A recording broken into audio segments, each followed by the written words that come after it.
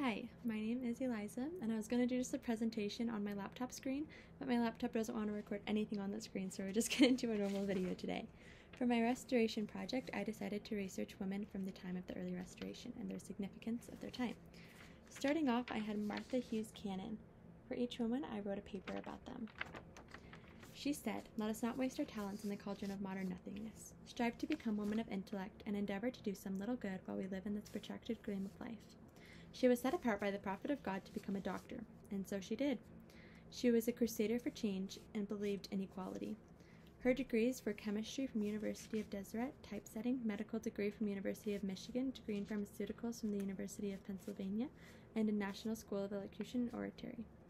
She was a senator, doctor, teacher, wife, mother, leader, friend, public speaker, outlaw.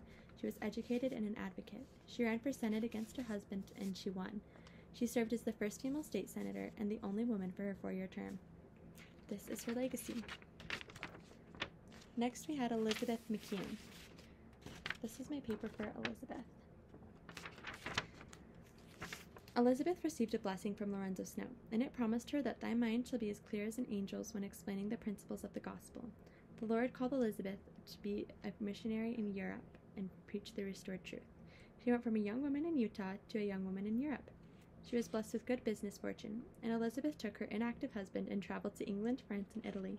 She originally went to search of her ancestors, but ended up preaching the gospel and telling the truths to all who would listen. She was committed and ready to do whatever it would take for her husband to return to faith and full fellowship. She wanted to save her ancestors and convert those prepared souls. She said, I could have gone into every house. She taught the gospel with such willingness and served hundreds and hundreds and ended up sharing the gospel to so many other minds. She said, Our religion teaches us that the wife stands shoulder to shoulder with the husband. Next, I had Elmina Shepherd Taylor. When she was 16, she knew the truth of the gospel and received her testimony. She also got an errand from the Lord, but that included having to leave her family who rejected her because of the gospel. And she left behind a good job and the life she knew. But she knew her identity, and that was she, she was a daughter of God. She knew the truth, and said that the Lord blessed her with a testimony of the gospel's truth which I had never lost. She never lost lost faith, even after the death of three children, her husband being jailed and imprisoned and faced for prosecution for her faith. She soldiered on. She helped fight for women's rights in the time when many viewed them with suspicion. She joined many women's organizations and taught the women in the church as well. She was the first president of the Young Women's Organization and worked with people like Susan B. Anthony to ensure women can vote. She said, Every one of us should be an angel of charity. The next woman I researched was Jane Elizabeth Manning James. Step by step, she walked 800 miles with broken shoes, and she traveled so she could learn the gospel and embrace Christ's restored church. She walked with faith. She was questioned, misunderstood, judged, prosecuted, denied rights, and abused. She overcame hatred, mistrust, and every and every day the racial bias was around her. She never wavered in her commitment to the Book of Mormon or to her testimony of the prophet Joseph. From her humble beginnings, she left her home as a refugee from Connecticut to New York, then on to Nauvoo.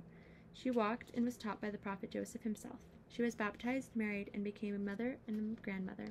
She was a pioneer in her trek across the plains that led her to Utah. She lived long and well, was known as a friend to all for 95 years. She said, Few people were more noted for faith and faithfulness than was Jane Manning James a very, very faithful woman of her time.